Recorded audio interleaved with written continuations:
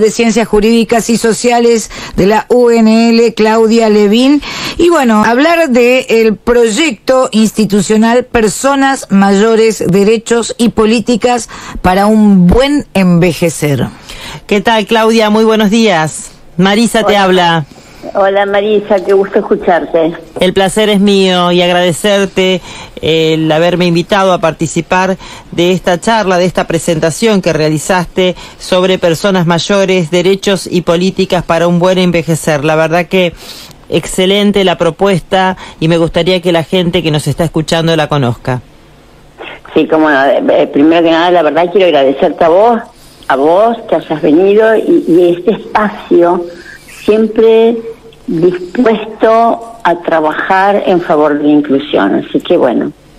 Es un, acá nuestro, nuestro programa es bastante inclusivo, es, de eso nos dedicamos. Recién estuvimos acá con Majo, que tiene el, el micro también de, de autismo en voz alta, o Majo ahora actualmente diversidad, funcional, ¿no? No, no, sí, yo soy oyente de ustedes. Bueno. Y bueno, y, cómo no vamos a estar presentes en todo esto que estás realizando, que también nos interesa muchísimo, es un tema que lo hemos trabajado acá en la radio, eh, no solamente desde el lado de, de cuando la, de lo que es el concepto de personas mayores, sino también de que la sociedad también este, empecemos a mirar cuando escucha, eh, cuando empiecen a escuchar lo que vos vas a, contarnos y eh, empezar a mirar, a despertar y decir, yo por ejemplo en mi edificio, Claudia, miro y digo, donde vivo actualmente, tengo escaleras para abajo y no tengo ascensores, no está ambientado en mi departamento para cuando uno llegue a, tener, o no, no sé si mayor, pero también algunas eh, discapacidades. Entonces, empezar a mirar las plazas, nuestra ciudad y también nuestro entorno familiar. ¿Cuál es el concepto que tenemos de, decimos ancianos, decimos abuelos, pero no decimos personas o adultos mayores? Sí, vos fíjate, este, ¿no? Cómo trabaja la discriminación invisibilizando a través también de, cómo nos referimos a ciertas situaciones o a ciertas personas. Recién vos decías, por ejemplo, abuelo.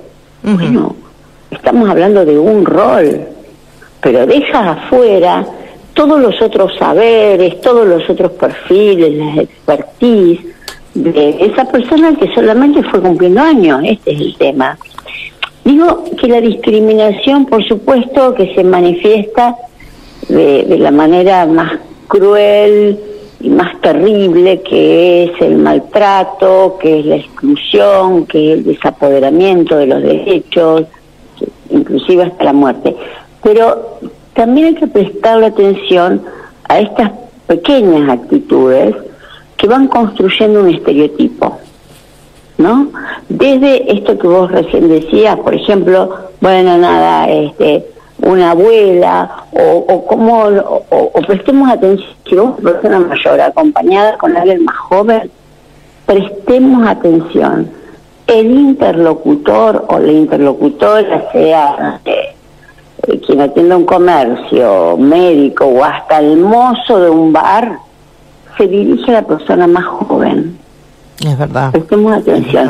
Eh, eh, ¿Y esto que, es una conducta discriminatoria que se hace a propósito? No, son conductas que están invisibilizadas, que este, se naturalizan y que van construyendo un estereotipo. Eh, lo que decías recién de las escaleras, bueno, las barreras, las barreras tecnológicas también.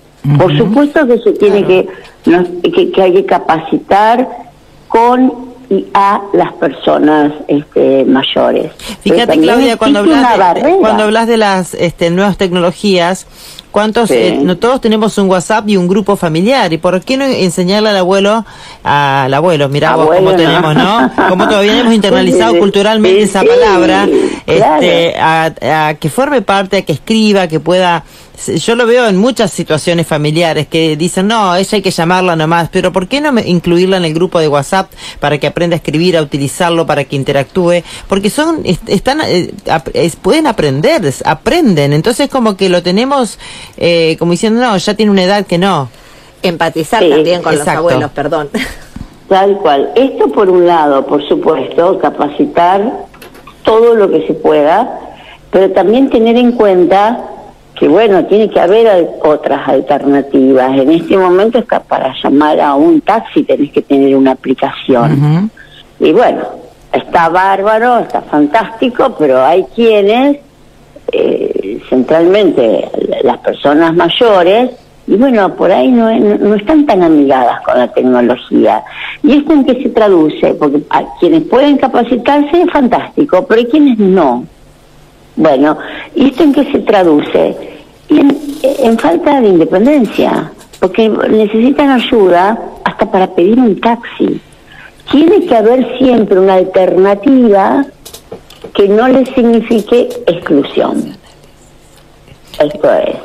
Pero bueno, desde la facultad lo que nosotros aspiramos es a generar un espacio de interacción, de construcción de conocimiento que atienda a esta problemática, a la problemática que atraviesa la población mayor. Ya un dato. Eh, de, de, ser una población este, minoritaria, en el siglo XXI la cantidad de personas mayores de 60 años supera la que existieron en toda la historia de la humanidad. En toda la historia de la humanidad. Bueno, estamos frente a un actor sociopolítico nuevo que hay que atender sus necesidades, que hay que tener un proyecto, este, políticas de Estado, para además potenciar todas sus posibilidades, porque además tenemos el estereotipo del viejecito, la viejecita, bueno, este, la vejez, incluso se habla de vejeces, porque bueno, hay formas de envejecer hay, imagínate que abarca desde los 60, 65 años hasta más de los 100, o sea que hay distintas etapas y, este, y distintas políticas que atiendan a esta población. Lo que no podemos es este, invisibilizarla. Incluso eh, con el tema del voto, ¿no? Decimos, bueno, ya no es necesario que vayan a votar. Sí, sí, seguro. Bueno, hay leyes que bueno, hay leyes que atienden a esta problemática y otras que seguramente hay que modificarla o generar nuevas. Bueno, yo creo que las universidades tenemos que estar, este, digamos, tenemos que poner el conocimiento y la investigación al servicio de la sociedad. Y esto es nuestro área, que es de ciencias jurídicas y sociales, no es solo derecho, es, tenemos dos facultades, dos carreras en nuestra facultad es poner esto al servicio de la sociedad. Por supuesto, esto este, lo que vos decías de, bueno, eh, que la voluntariedad a partir de, digamos, de cierta edad es voluntario el voto, bueno, esto eh, forma parte de ahí. Pero hay leyes que, que ya son supralegales, inclusive, que sí apoyan políticas de inclusión. Tenemos, bueno, nada menos que la Convención Interamericana de la Protección de los derechos este, de las personas mayores. Y esto atiende a, cinco principios básicos de independencia, autorrealización, participación, eh, dignidad y, cuidado. Y esto se traduce en acciones concretas, que es lo que invitamos a construir colectivamente. Sí, eso es, hiciste hincapié que es un cambio cultural que lo tenemos que trabajar entre todas y todos, ¿no? Eh, a los políticos, las eh, instituciones, nosotros desde eh, los medios de comunicación. ¿Cuál sería el mensaje que debemos transmitir, Claudia, o de qué manera podemos colaborar en este proyecto? es, es exactamente lo que vos decís. Esto son cambios culturales que lo abordamos entre toda la sociedad o es imposible o, no, no, no, no podemos. Nosotros hemos pensado una estructura, bueno, por supuesto va a haber un comité académico con el que contamos, vamos a contar con especialistas nacionales e internacionales y también un consejo social, donde sí este, convocamos a todas las instituciones estatales y organizaciones civiles, este, los bueno, los medios de comunicación, los distintos programas que atienden a esta problemática, donde eh, para trabajar coordinadamente. Hay muchos proyectos en los que ya se está trabajando, bueno, hay que coordinar porque muchas veces son se superponen. Bueno, coordinemos esto y potenciemos lo que hay y además generemos nuevos. generemos nuevos proyectos. Y también va a haber, por supuesto, un espacio participativo para toda la sociedad. Bueno, estuvo también la participación de Isolina eh, Dabove, ¿no? Que del CONICET habló sobre el derecho de la vejez. Interesante también su, su presentación.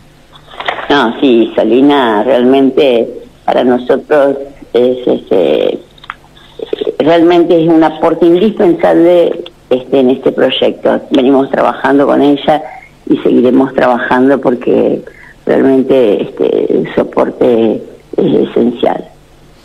Bueno. especialista nacional e internacional. Sí, sí. La verdad que muchísimas gracias, reitero la oportunidad de haber participado de esa presentación. Estamos acá con mujeres emprendedoras, con Pato, Majo, todas a disposición de lo que necesites eh, como comunicadoras y también formar parte de ese consejo para eh, planificar acciones y poder este, sumar más eh, personas que... sí, voces, miradas, claro. Tal cual. Así que bueno, muchísimas gracias Claudio nuevamente por estar acá. Te esperamos cuando quieras acá.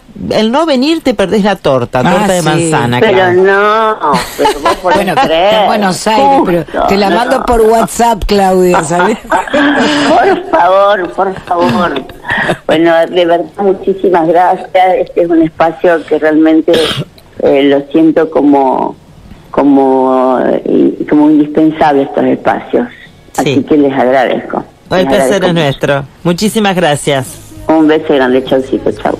Bueno, era Claudia Levín, la decana de la Facultad de Ciencias Jurídicas y Sociales de la UNL. Estuvimos hablando de este proyecto de para personas mayores, sus derechos, las políticas para un buen envejecer.